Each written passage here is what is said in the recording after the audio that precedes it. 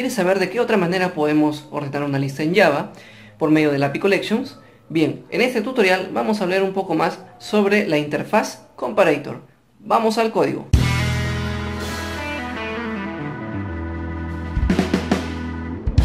Ok coders, en el tutorial anterior hemos visto que el método source de collections espera como parámetro una lista.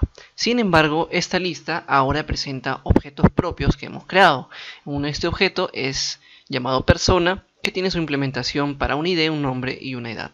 ¿Correcto? Sin embargo, para poder ordenarla necesitamos indicar algunos criterios adicionales. Y es aquí donde vamos a implementar la interfaz comparator. Van a ver que está pidiendo una nueva instancia de comparator. ¿Ok? Bien, vamos a hacer clic derecho al paquete, creamos una nueva clase y vamos a llamar acá nombre comparator. Esta es una clase común y corriente al cual vamos a implementar la interfaz implements comparator. Como es una interfaz a implementar, ustedes ya sabrán que necesitamos sobreescribir los métodos abstractos. Vamos a importar primero el paquete Java útil y luego posteriormente vamos a importar estos métodos. Vamos a implementar estos métodos. Ok, tenemos que sobreescribir el método compare, compare, ok, en español. Este método tiene como argumentos dos parámetros, ok, tiene dos valores aquí, object o1 y o2. Me está retornando 0. ¿Qué quiere decir este método? ok? Este método va a comparar ambos valores. Si la comparación es positiva, quiere decir que el valor 1 es mayor al valor 2, si la comparación da igual a 0, ambos valores son iguales, y si la comparación da negativa, significa que el valor 1 es menor al valor 2. Ok, entonces aquí tendremos que implementar nuestra propia lógica. Vamos a recibir objetos, vamos a llamar acá obj1 y obj2 para poder apreciarlo mejor. Ok, entonces vamos a hacer un casteo, vamos a hacer acá como estamos haciendo de tipo persona, vamos a colocar per 1 va a ser igual a obj1 en el cual se le hace un casteo de tipo persona. De la misma manera para per 2.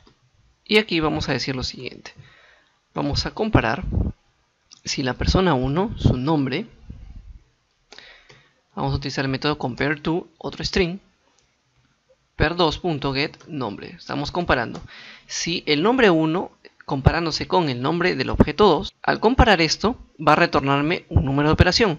Por lo tanto, yo creo que lo podría hacer de una manera un poco más directa, simplemente colocando esto y evitándome el return 0.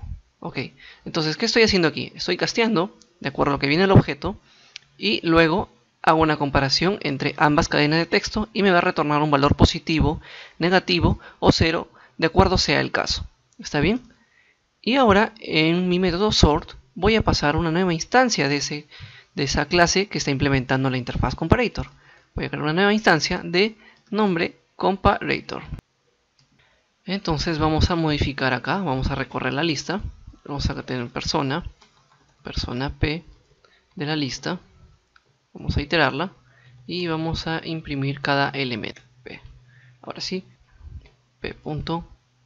nombre Ahora sí, corremos la aplicación y vamos a ver coders que la lista se ha ordenado en orden alfabético. Code, Jaime y Mito. C, J y M. ¿Está bien?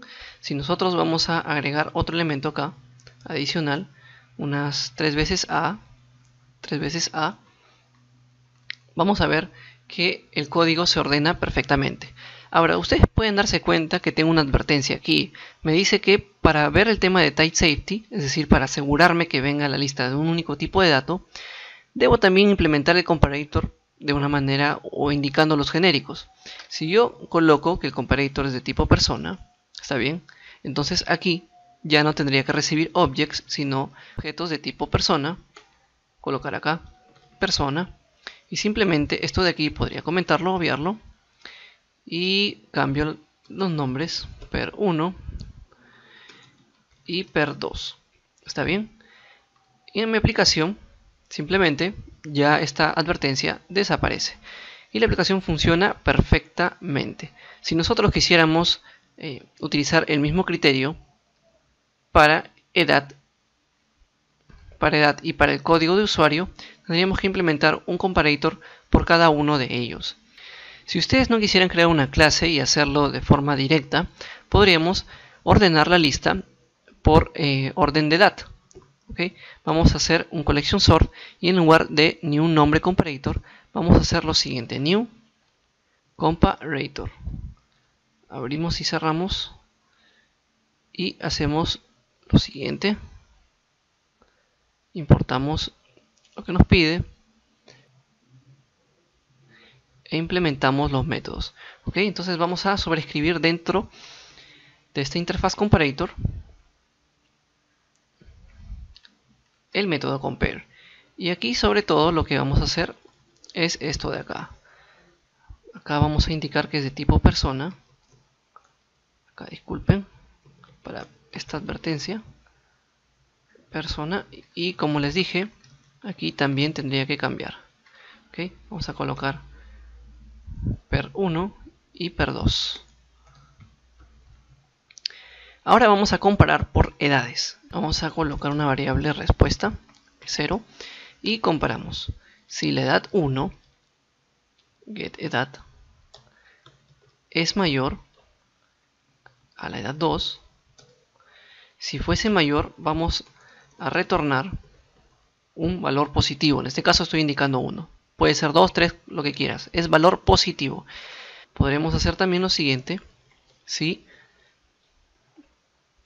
persona 1, todo lo que está acá igual, es menor, vamos a retornar un valor negativo. RPTA igual a menos 1.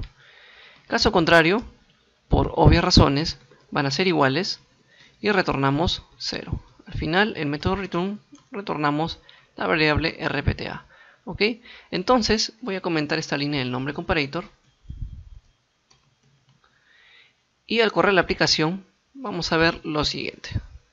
Vamos a ver que tengo mito en primer lugar porque el valor es 15. El segundo lugar vendría a ser eh, Jaime porque el valor es 25. Y después sería code y AAA de acuerdo al orden de agregar a la lista. ¿Está bien? Vamos a cambiar aquí 24 para que vean que el orden también está alterando.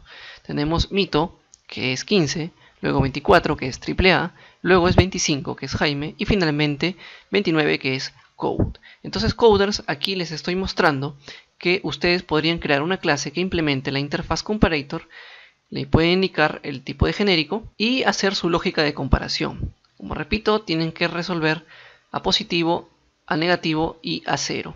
Acá puedo colocarle 555, corremos la aplicación y van a ver que el resultado sigue siendo el mismo, solo importa que el valor sea positivo. ¿Está bien? Adicionalmente les mostré que puedo crear un nuevo comparator sin la necesidad de una clase adicional, simplemente sobreescribiendo eh, el método compare de la interfaz comparator dentro del método sort. Quizás para algunos sea esta manera un poco práctica y para otros no. Quizás para algunos esto les sirva poder seccionar su código y separar quizás entidades, separar, eh, no sé, comparadores, en fin. Pero para otros quisieran poder tener de una forma mucho más práctica que la lista se ordene bajo un criterio por defecto, llamémoslo así.